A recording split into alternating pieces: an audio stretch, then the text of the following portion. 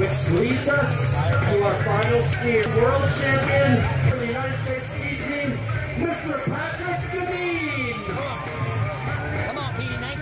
I'm a ski team member and Hart athlete Patrick Deneen, and today we're going to be talking about hands.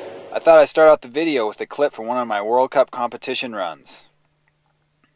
In the competition mogul runs, as well as in general mogul skiing, quiet hands are necessary. In the bumps, you're going to have some movement of the hands, but you want to eliminate as much of it as possible. Hands can either be a symptom or a cause of a problem that you find yourself having in the bumps or in skiing in general. When it comes to skiing, I think I've worked on my hands more than any other specific body part. The following are some flat training runs where I'm focused on my hands. I want my hands out in front of me with my elbows slightly away from my upper body and my knuckles facing forward. I work on having a light grip on my pole and a light touch on the snow with my pole plant. Now that all sounds easy, but in reality it takes time and repetition to get it right. I work my hands in the flats as well as in the bumps. In slow motion you'll see that my left hand moves slightly forward and down for the pole plant.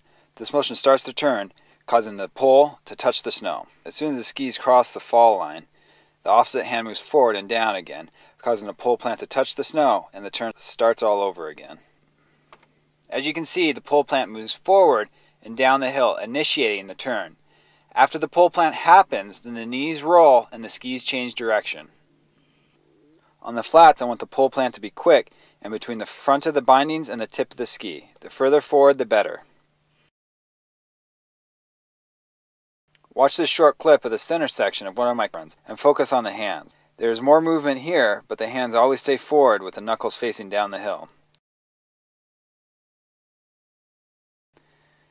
Now here's the same clip in slow motion that shows my hands forward, which allows me to plant my poles on the downhill side of the bump and provides for timing and initiation of the turn. And now one more clip of a side-by-side -side that shows a flat training run and a comp run, which shows how I use the flats to train my hands and how the motion crosses over to the bumps. And one last thing. Hands are important. So if you're having to wave your hands around or they're getting caught behind you, it shows you're having issues somewhere in your skiing. So start on the flats, work your hands, and then move into the moguls. Thanks for watching this Hart Bump Tip video.